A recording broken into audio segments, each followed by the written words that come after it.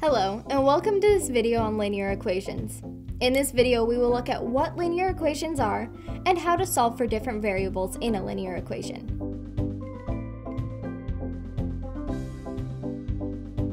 What exactly is a linear equation? Well, if you look at the word linear, you can find the word line. So a linear equation is an equation for a line. Linear equations have two variables, most commonly x and y, that are to a single degree meaning that they do not have variables to powers or roots. y equals 9x plus 5 is an example of a linear equation.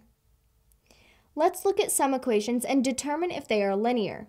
As each question is written on the board, I want you to decide if it is linear or not. y equals x squared plus 2. No, this is not a linear equation because the x variable is squared y equals 4x plus 1. Yes, this is a linear equation. There are two variables and they are both of a single degree. x plus 3y equals 7. Yes, even though this equation looks a little different from our other ones, it is still a linear equation because there are two variables and neither one has a root or is raised to a power x equals the square root of y minus 4. No, this is not a linear equation because of the square root. The most common way you will see linear equations is in the form y equals, because this is the easiest way to create a graph based on the equation. This is called slope-intercept form. However, it is still okay to have an equation with the x variable or both the x and the y variables on the left side of the equation. Let's look at an equation that has the x variable on the left side and rearrange it so it is in slope-intercept form. x equals 2y minus 7. When we are looking for slope-intercept form, we want to get the y variable by itself on the left side of the equation. To do this, we first have to add 7 to both sides.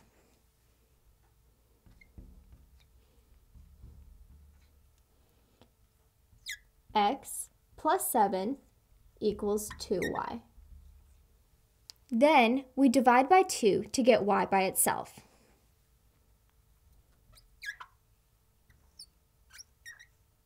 Remember, dividing by 2 is the same as multiplying by 1 half. So another way to write this equation is 1 half x plus 7 halves equals y. All that's left is to flip our equation around so the y is on the left side of the equation. y equals 1 half x plus 7 halves. Now we have our equation in slope-intercept form. Let's look at one more equation, but this time we're going to solve for x. 6y minus 3x equals 12.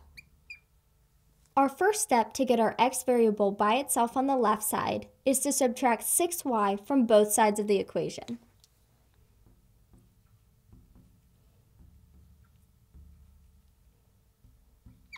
So we have negative 3x equals 12 minus 6y. Then we divide the whole equation, which means both parts of the right-hand side of the equation, by negative 3.